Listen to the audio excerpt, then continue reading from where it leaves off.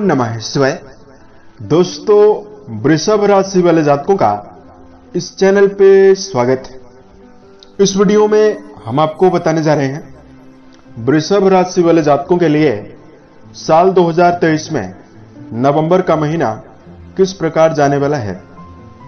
नवंबर का महीना क्या कुछ खास वृषभ राशि वाले जातकों के जीवन में लेकर आया हुआ है?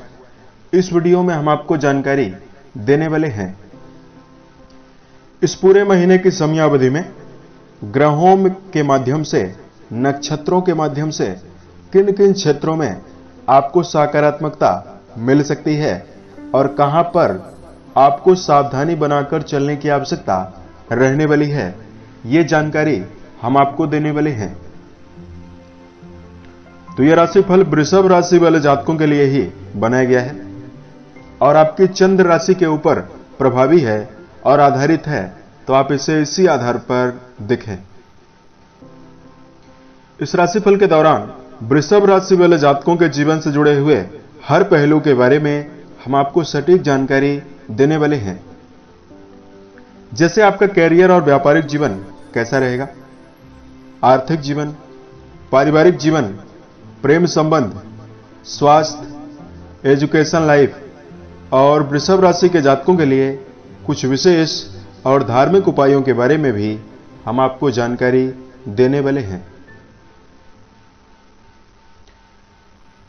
राशिफल को प्रारंभ करें, उससे पहले हम आपको जानकारी दे रहे हैं, आपके राशि के ऊपर ग्रही स्थिति किस प्रकार की बनी हुई रहने वाली है।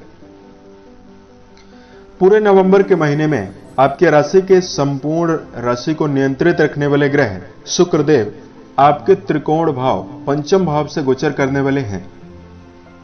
आपके पंचम भाव पर केतु और शुक्र की उपस्थिति तीन नवंबर से बनने वाली है। राहुदेव आपके लाभ भाव पर और देवगुरु बृहस्पति आपके व्यय भाव पर पूरे नवंबर के महीने में गोचर करने वाले हैं। इसमें राहुदेव भी वक्री हैं और देवगुरु बृहस्पति भी वक्री रहने वाले हैं। इस पूरे महीने शनिदेव आपके कर्म भाव यानी दसम भाव पर प्रभावी होकर गोचर करने वाले हैं। मंगल, सूर्य और बुध, ये तीन ग्रह आपके छठवें भाव पर नवंबर की शुरुआत में गोचर करने वाले हैं। जिसमें 17 नवंबर को सूर्य का परिवर्तन होगा 16 नवंबर को मंगल का भी परिवर्तन होने वाला है। इस प्रकार की ग्रह स्थितियाँ वृषभ राशि वाले जातकों बनी हुई रहने वाली है। इसमें मेजर ग्रहों का राशि परिवर्तन नहीं हो रहा है। माइनर ग्रहों का परिवर्तन काफ़ी ज़्यादा हो रहा है। अब आइए हम आपको बताते हैं कि आपके लिए यह महीना किस प्रकार की संभावना निर्मित करने वाला है। सबसे पहले आपको जानकारी दे रहे हैं, कैरियर के लिहाज से नवंबर आपके लिए कैसा है। देखिए, आपके राशि के दसम भाव यानी कर्म भाव के स्वामी शनि बनते हैं। और शनिदेव 4 नवंबर 2023 से आपके दसम भाव पर मार्गी हो जाएँगे, यानी वक्री चाल को छोड़ रहे हैं। और आपके राशि के स्वामी शुक्रदेव काफ़ी बेहतर स्थितियों में गोचर करने वाले हैं, शुभ स्थितियों में रहने वाले हैं।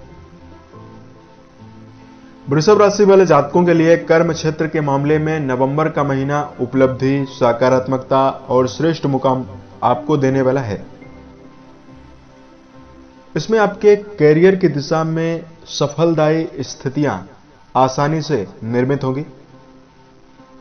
खुद का व्यापार कर रहे हैं, उसमें आपको सफलता मिलेगी। अचानक यदि आप उपलब्धि चाहते हैं, अचानक आपके जीवन में प्रमोशन की संभावना बनेगी।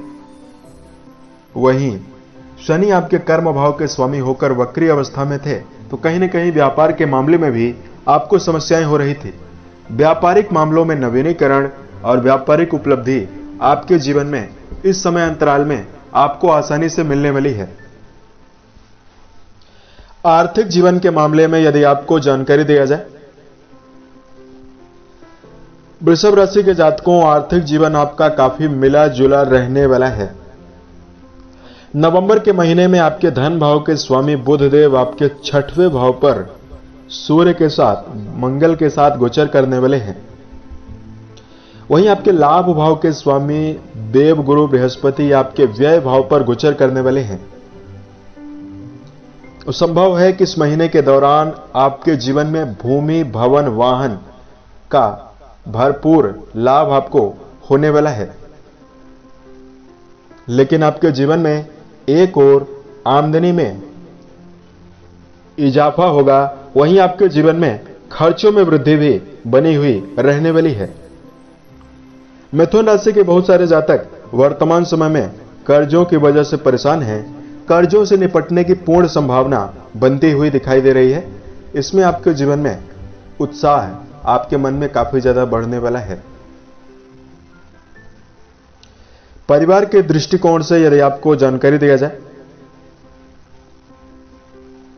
पारिवारिक जीवन वृषभ राशि वाले जातकों का मिला जुला रहने वाला है। देखिए, आपकी राशि का द्वितीय भाव के स्वामी बुधदेव आपके छठवें भाव पर प्रभावी होकर गोचर करने वाले हैं। तो कहीं ना कहीं पारिवारिक जीवन में वृषभ राशि के जातकों को दबाव ज़रूर महसूस होगा और पारिवारिक जीवन से जुड़ी हुई ज़िम्मेदारी आपके ऊपर बढ़ी हुई रहने वाली है। आपके बारहवें भाव पर गुरु और बृहस्पति और राहु का चांडाल योग बना हुआ था। इसकी वजह से परिवार में खुशी, सद्भाव और परिवार में सामंजस्य की कमी आपको हो रही थी। तो तालमेल आपके परिवार में ज़रूर बढ़ेगा, रिश्तों में आपकी अहमियत भी बढ़ेगी कुटुंबी जनों का भरपूर सहयोग भी आपको नवंबर के महीने में देखने के लिए मिलने जा रहा है। शिक्षा को लेकर जानकारी दिया जाए। देखिए, पंचम भाव से शिक्षा के बारे में विचार करते हैं। और पंचम भाव पर शुक्रदेव केतु के साथ प्रभावी होकर गोचर करने वाले हैं।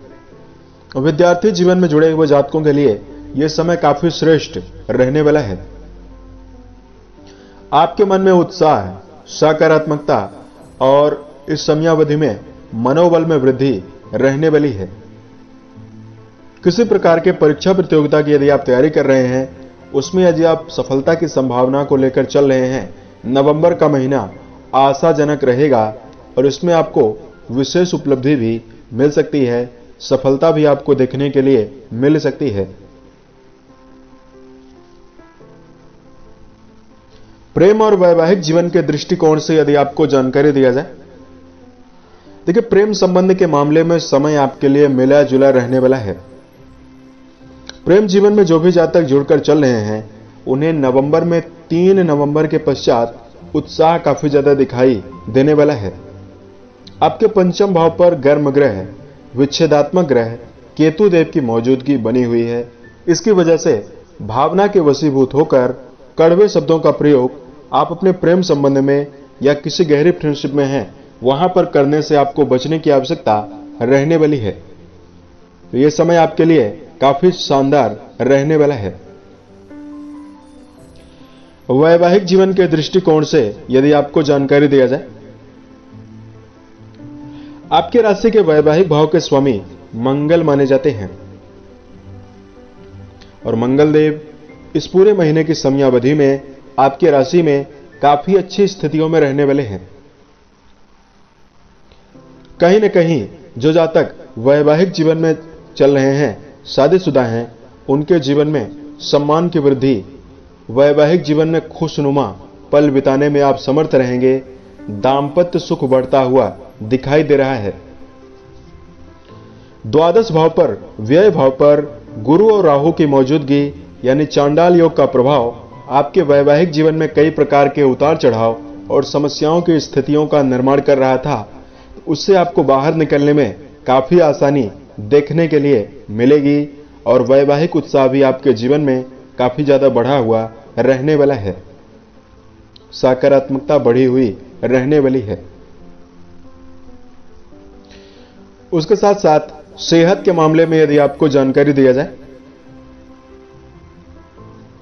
वृषभ राशि के जातकों, सेहत के मामले में इस महीने महीने के मध्य तक आपको सावधान रहना चाहिए।